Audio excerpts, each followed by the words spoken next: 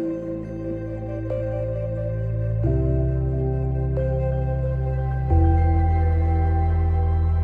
you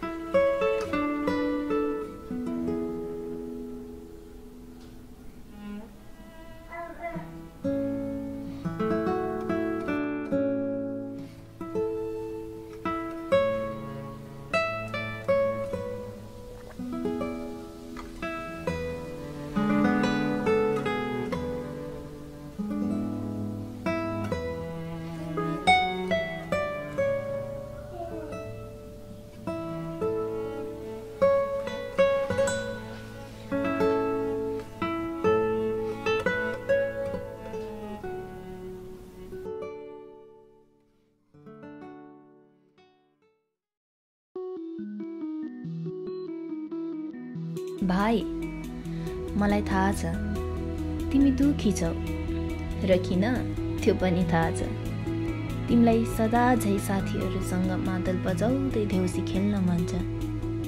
आफ्नो दिदीको हातबाट भाइटिका लाउन नपाउँदा तिम्रो मन यति पनि खुसी छैन।